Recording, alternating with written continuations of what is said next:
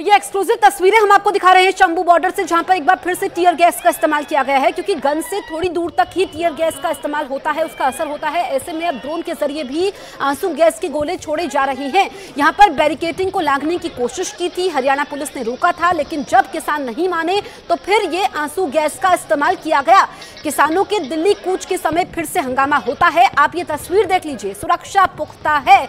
Police की मौजूदगी है, आरएएफ की मौजूदगी है।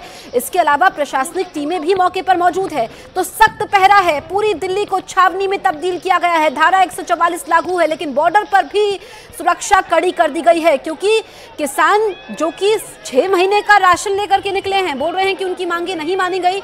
उन्होंने पूरा इंतज़ाम किया हुआ है। साथ में वो लकड़ियाँ लेकर के भी आए हैं, सूखा अनाज लेकर के भी आए हैं तो लंबी तैयारी के साथ आए हैं, लेकिन सरकार का कहना यह है कि बातचीत के ज़रिए समाधान होगा, किसानों को ये सोचना चाहिए। अब ये दो तस्वीरें आप देखिए, हंगामा करने वालों पर एक्शन होता है। ड्रोन से आँसू गैस के गोले गिराए गए हैं, और ड्रोन से टीयर गैस का इस्तेमाल करने का मतलब यह होता है कि असर दूर तक हो।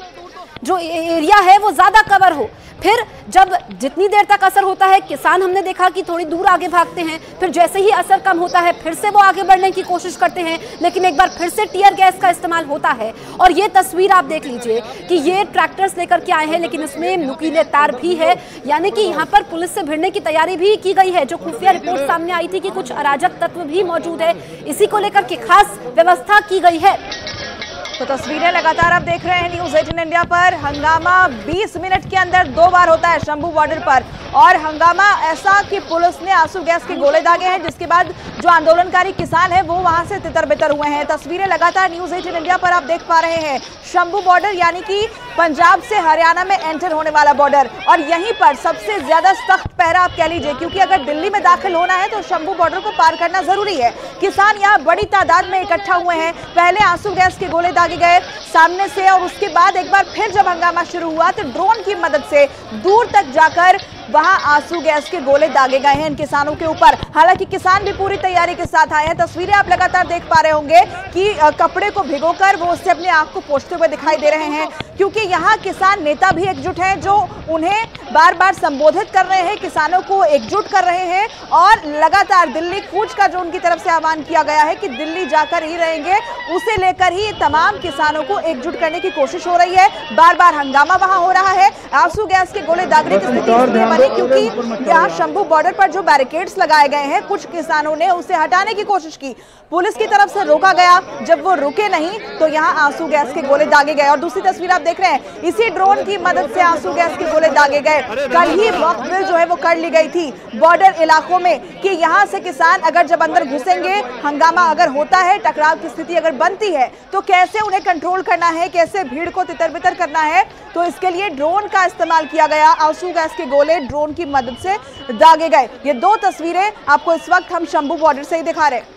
तो ये तस्वीरें आप न्यूज़ एटीन इंडिया पर एक्सक्लूसिव देख सकते हैं। हंगामा करने वाले किसानों पर एक्शन हो रहा है। टीयर गैस का इस्तेमाल किया जा रहा है। ड्रोन से ही टीयर गैस का इस्तेमाल हुआ है। किसान भागते हुए नज़र आ रहे हैं। ये शंभू बॉर्डर पर यह हुआ है। दो बार हंगामा होता है 20 मिनट के अंदर। यानी कि जब पहली बार आँसू गैस की गोलों का इस्तेमाल होता है उसके बाद कुछ देर तक असर होता है। लेकिन फिर से किसान बैरिकेटिंग को पार करने की कोशिश करते हैं। तो एक बार फिर से टीयर गैस का इस्तेमाल होता है। ये तस्वीरें हम आपको दिखा रहे हैं ड्रोन के ज़रिए क्योंकि ड्रोन के ज़रिए आँसू गैस के गोले दागे इसलिए जा रहे हैं ताकि असर दूर तक हो। काफ़ी तादाद में किसान हैं, ट्रैक्टर्स हैं, पूरा राशन लेकर के आए हैं, तैयारी के साथ आए हैं।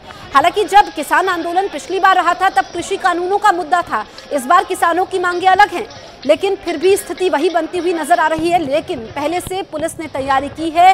पिछली बार जो तस्वीर निकल करके सामने आई थी, उसी को दिमाग में रख के इस बार पूरे इलाके को छावनी में तब्दील किया गया है। और कई इलाकों में तो इंटरनेट सेवा भी बंद की गई है, लेकिन ये आज की सबसे अहम तस्वीर ड्रोन के ज़रिए टीयर गैस का इस्तेमाल होता है और यहाँ पर अफरा तफरी मच जाती है।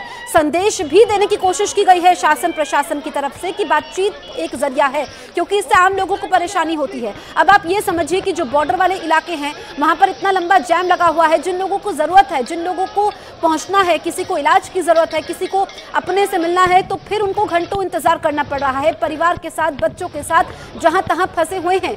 ऐसे में आम लोगों को परेशानी ना हो किसी भी तरह से व्यवस्था ना बिगड़े कानून को हाथ में ना ले किसान इसको लेकर के तैयारी की गई है। एक बार फिर, फिर से आप ये तस्वीर देख लीजिए। आँसू गैस के गोले दागे गए हैं ड्रोन से आँसू गैस के गोले यहाँ पर दागे गए हैं।